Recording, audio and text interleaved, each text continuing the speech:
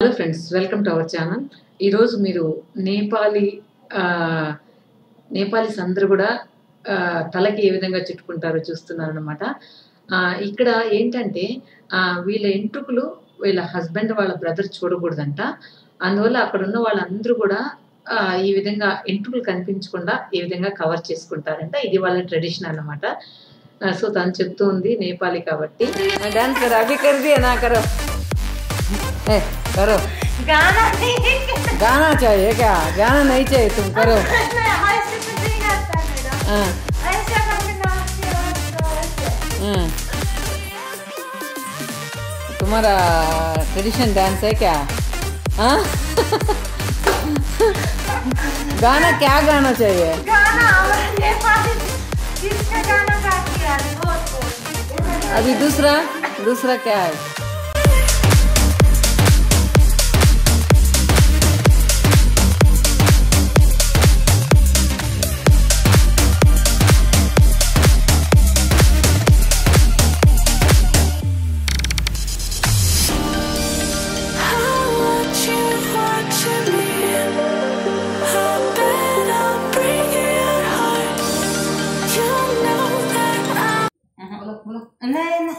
बोलो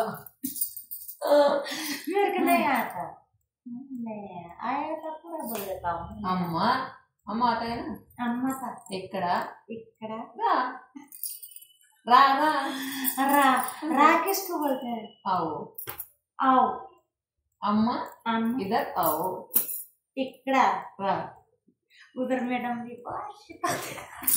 బులవ అప్పుడు అమ్మ ఇక్కడ రా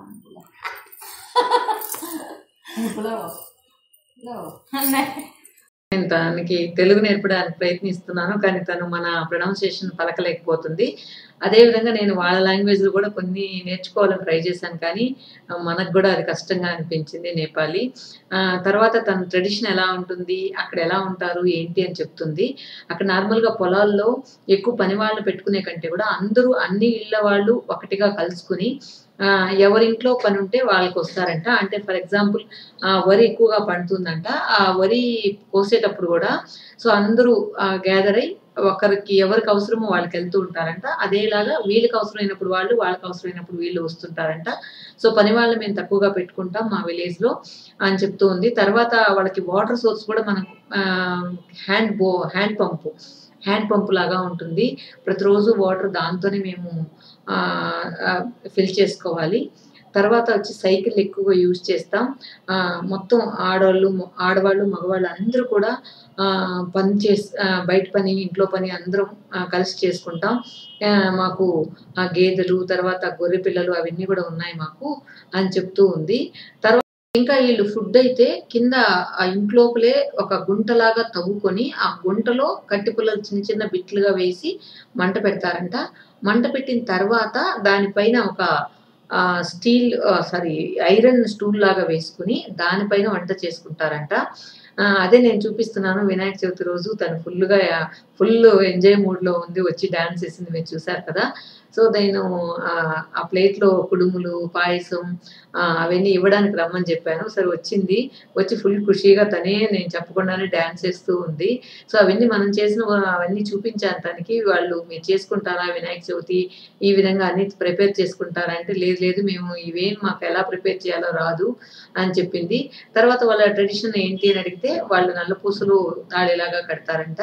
తర్వాత తర్వాత వాళ్ళ పెళ్ళిలో ఉంగరం వేస్తారంట. సో తను వేసుకున్న ఉంగరం చాలా లావుగా ఉండింది. సో ఇన్ని సంవత్సరాలు మేమైతే ఆ ఉంగరం తీయము. అది మాకు బాగా సెంటిమెంట్ అది అది అరిగిపోయింది. నేను వేసుకుని వేసుకుని అలాగే పనిచేస్తూ అరిగిపోయింది అని చెప్తూ ఉంది. ఇంకా వీలు ఉన్న విలేజ్లో కొంచెం అక్కడ వాళ్ళు అక్కడ బతకడానికి కష్టం అంట అందువల్ల ఈ విధంగా అన్ని ఊర్లకు వచ్చేసి ఇక్కడే వాళ్ళు ఆ కొద్ది కొద్దిగా డబ్బులు సంపాదించుకొని తర్వాత వాళ్ళ వాళ్ళ ఊర్లో ఉన్న వాళ్ళ రిలేషన్స్కి అంటే ఐ మీన్ వాళ్ళ అమ్మ నాన్నలకి వాళ్ళ అత్త మామలకి ఇలా పంపుతూ ఉంటారు. సో మొత్తం ఫ్యామిలీ ఫ్యామిలీగా వచ్చేస్తారు. వాళ్ళ పిల్లలు వాళ్ళ హస్బెండ్ అందరూ కూడా వచ్చి తలా ఒక దగ్గర పని చేసుకొని ఆ డబ్బులన్నీ కూడచే కూడబెట్టుకొని సో వాళ్ళ ఊరికి పంపుతూ ఉంటారు. ఇంకా చాలాసేపు వాళ్ళ ట్రెడిషన్స్ గురించి తర్వాత అక్కడ వాళ్ళు ఎలా ఉంటారు ఈవెన్ నైబర్స్ ఎలా ఉంటారు ఇవన్నీ కూడా ఎక్స్ప్లెయిన్ చేస్తూ ఉందన్నమాట. ఇంకా నేను ఊరు వెళ్ళినప్పుడు అత్తమ్మకి రోజు తనే జడవేసేదంటే అత్తమ్మకి చేతులు వెనక్కి రావని తెలిసింది కదా తెలుసు కదా. సో అందువల్ల తనే రోజు జడవేసి వెళ్ళేది. సో ఇప్పుడు వేస్తూ ఉంటే తను తన హిందీ తనకేమో హిందీ రాదు ఆ, దీనికేమో తెలుగు రాదు. వాళ్ళిద్దరి లాంగ్వేజ్ ఎలా ఉందో ఒకసారి చూద్దాం.